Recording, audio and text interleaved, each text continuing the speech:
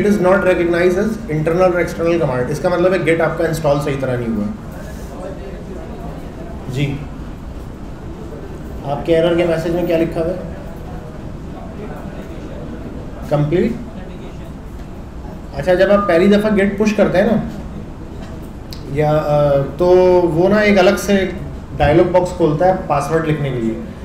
क्योंकि गिटहब का पासवर्ड आपके कंप्यूटर को तो नहीं पता है ना। तो वो वहाँ पे पासवर्ड लिखना होता है। तो वो आ रहा था, वो डायलॉग बॉक्स खुल रहा था। सम टाइम क्या होता है वी एस कोड फ्रंट पे खुला होता है। डायलॉग बॉक्स ना बैकग्राउंड में खुल जाता है। तो आपको पता नहीं चलता कि कोई डायलॉग बॉक्स खुला हुआ है। तो आप सारी विंडो जब नीचे करते हैं तो पीछे वो खड़ा हुआ होता है, ऐसे करके। जब छोटे बच्चे नहीं होते, घर का रास्ता भूल जाते हैं, ऐसे खड़े हुए होते हैं। ऐसे पूछो तो उसको नाम भी नहीं पता होता अपना। अब्बू का नाम क्या है? अब्बू। कैसे पीछे खड़ा हुआ होगा? अच्छा भाई, और कोई प्रॉब्लम किसी को? अलेवेंथ हाँ एवरीथिंग अप टू डेट का मतलब है कि आपकी जो भी चेंजेस थी वो तमाम की तमाम पुश हो चुकी है। अब मज़ीद कोई ऐसी चीज़ नहीं है जो पुश की जा सके। सही है? एवरीथिंग अप टू डेट का मतलब है कि जो भी था वो पुश हो गया।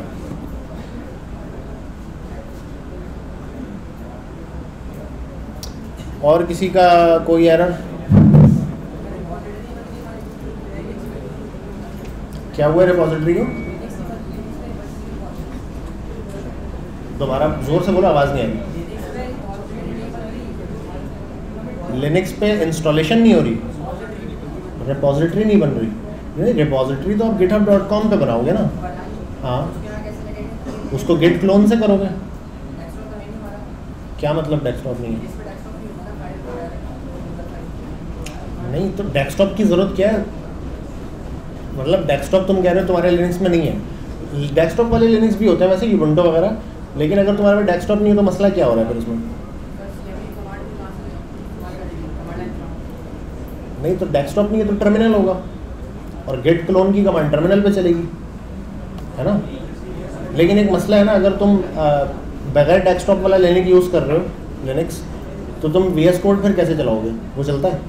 चल रहा है वो? अच्छा फिर सही है। मैंने कई दफ़ा वैसे लिनक्स यूज़ करने की कोशिश की है तो हो नहीं पाया मेरे से। तो फिर मैं घूम फिर के वहीं आ गया जहाँ था। हाँ नहीं विंडोज़ पे उस टाइम विंडोज़ पे भी मैंने बहुत ट्राई किया था। शुरू में तो ज़ाहिर है, बचपन में हर कोई विंडोज़ का यूज़र होता है ना। फिर एक टाइम आता है, बंदा मैक पे मूव कर जाता है।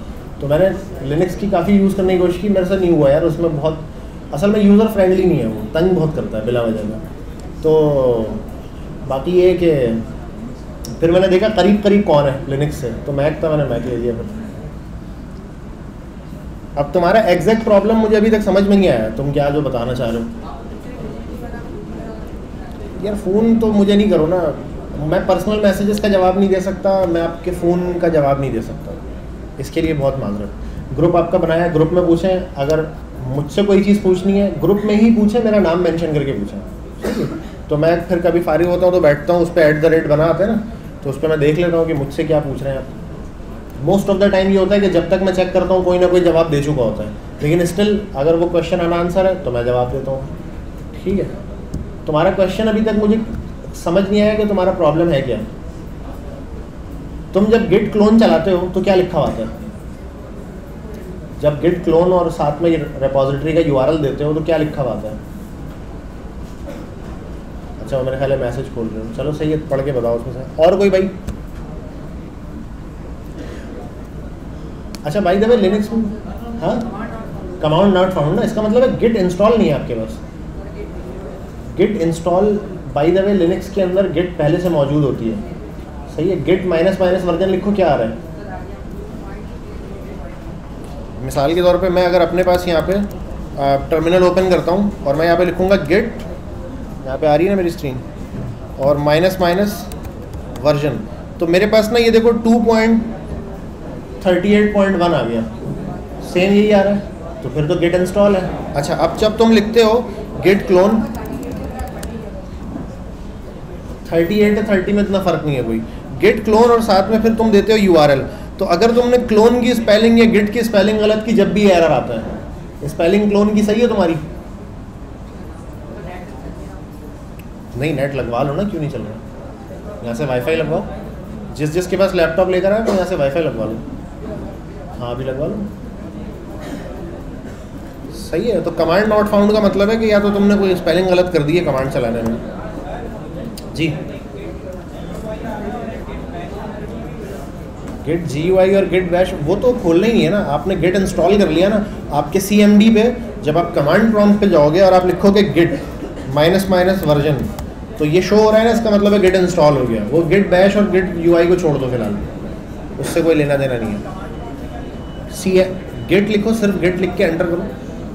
माइनस माइनस देखो, अगर तुम गिट लिख रहे हो ना गिट और एंटर कर रहे हो और कुछ आ रहा है सामने। सही है? मतलब सही है। अच्छा अगर मैं गिट की जगह गॉट लिखूँगा तो ये क्या कह रहा है? कमांड नॉट फाउंड ठीक है? गॉट नहीं मिल रहा मुझे। लेकिन जब मैं गिट लिख के एंटर करता हूँ तो मुझे कुछ मिलता है। तो इसका मतलब है गिट के नाम का कोई सॉफ्टवेयर कोई सी टूल मेरे पास इंस्टॉल है। सी टूल क्या होता है? कमांड लाइन पे जो चलता है। और एक होता है जी टूल जैसे गूगल क्रोम वगैरह वो जी पे चलता है।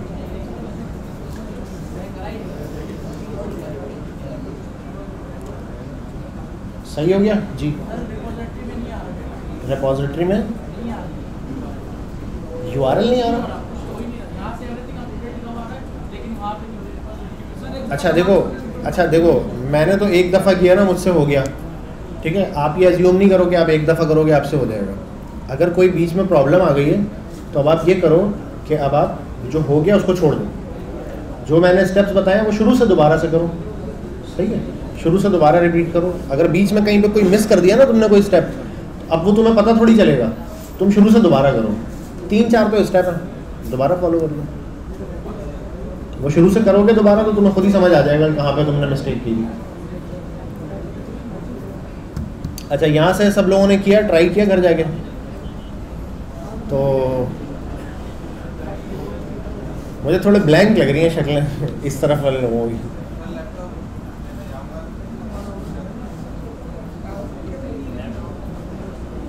सही है।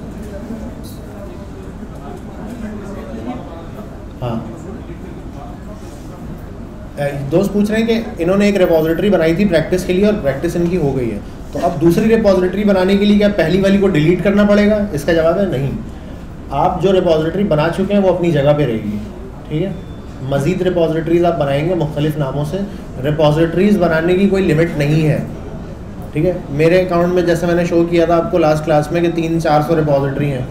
ठीक है? तो आपके पास अभी दो तीन है, आप और भी बना सकते हैं। लेकिन सेम नाम से बनाएँगे तो वो फिर कहता है इस नाम से पहले से बनी हुई। तो आप नाम चेंज कर करके आप जितनी रिपोजिटरी बनाना चाहें, बना सकते हैं।